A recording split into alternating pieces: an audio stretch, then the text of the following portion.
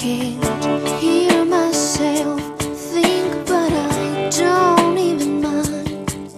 Cause it's better to spare myself of.